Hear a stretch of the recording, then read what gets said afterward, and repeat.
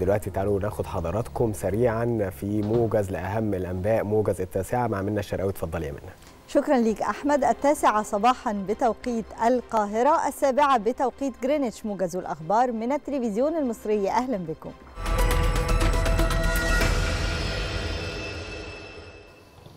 أكد الرئيس عبد الفتاح السيسي أن الغاية الأسمى للدولة هي الحفاظ على بقائها وحفظ الأمن وتحقيق الأمان للمواطنين وأن ذلك لن يتأتى إلا بوجود جهاز شرطة واع ومدرك لطبيعة وظيفته. وشدد الرئيس السيسي خلال كلمته في احتفالية وزارة الداخلية بالذكرى السبعين لعيد الشرطة أن رجال الشرطة أثبتوا في معركة الإسماعيلية عام 1952 أن الدفاع عن الأوطان ليس مرهونا بامتلاك العدة والعتاد بل بمدى عقيدة الرجال الراسخة داخل نفوسهم. شدد الرئيس السيسي على أن دحر الإرهاب كان ثمنه كبيرا جدا وأنه لولا تضحيات الشهداء ما كان لمصر أن تسير على طريق التنمية الشاملة. وثمن الرئيس السيسي خلال الاحتفال بعيد الشرطة السبعين تضحيات من قدموا أرواحهم وأصيبوا من كل أبناء الوطن في معركة القضاء على الإرهاب.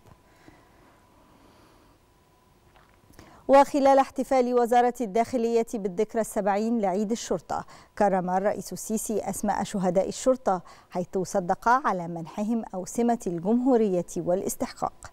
ومنح الرئيس السيسي وسام الجمهورية من الطبقة الثالثة لاسمي الشهيدين عقيد أحمد جابر أحمد نصار والمقدم عبد الرحمن عادل عبد الرحمن عبده. كما منح الرئيس السيسي وسام الاستحقاق من الطبقة الخامسة لاسمي الشهيدين مساعد شرطة ثالث عبد المحسن المنشاوي عبد العزيز والشهيد مجند أيمن الحاج إبراهيم أبو ناصر. ومنح الرئيس السيسي عددا من أعضاء هيئة الشرطة أنواط الامتياز تقديرا لعطائهم وإخلاصهم.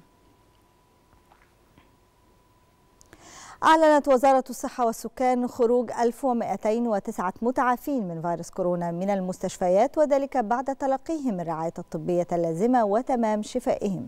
ليرتفع إجمالي المتعافين من الفيروس إلى 343971 حالة. وأوضحت وزارة الصحة تسجيل 1603 حالات جديدة ثبتت إيجابية تحاليلها للفيروس ومتحوراته مشيرة إلى وفاة 38 حالة جديدة.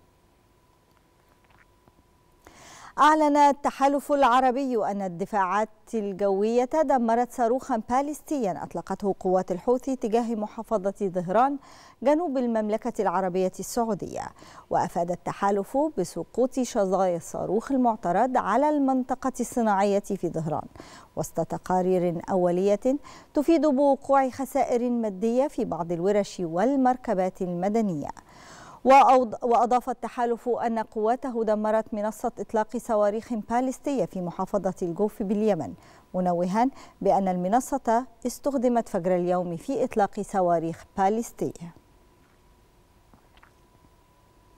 نقلت وكالة أنباء الإمارات عن وزارة الدفاع قولها أنها اعترضت ودمرت صاروخين باليستيين أطلقهما الحوثيون باليمن مضيفة أن الهجوم لم يسفر عن سقوط ضحايا. وأضاف البيان أن بقايا الصواريخ الباليستية التي تم اعتراضها وتدميرها سقطت في مناطق متفرقة حول إمارة أبو ظبي. قرر رئيس مجلس السيادة الانتقالي السوداني الفريق أول ركن عبد الفتاح البرهان تجديد وقف إطلاق النار على امتداد البلاد وفي كافة الجبهات. وجاء في نص القرار الذي نشر على الصفحة الرسمية لمجلس السيادة الانتقالي على فيسبوك أن هذا القرار يأتي لتهيئة أجواء الاستقرار والأمان في البلاد واستشراقا لعهد جديد يسوده السلام والطمأنينة والأمن. تستضيف بروكسل اليوم اجتماعا لوزراء خارجية الدول الأعضاء في الاتحاد الأوروبي بمشاركة نظيرهم الأمريكي أنتوني بلينكين عبر ال video conference ويرتكز الاجتماع على مناقشة تطورات الأزمة على الحدود الروسية الأوكرانية. وفي ظل ما تعتبره بروكسل حشدا للقوات العسكرية الروسية. نهاية موجز التاسعة عودة لاستكمال باقي فقرات صباح الخير يا مصر بعد الفاصل.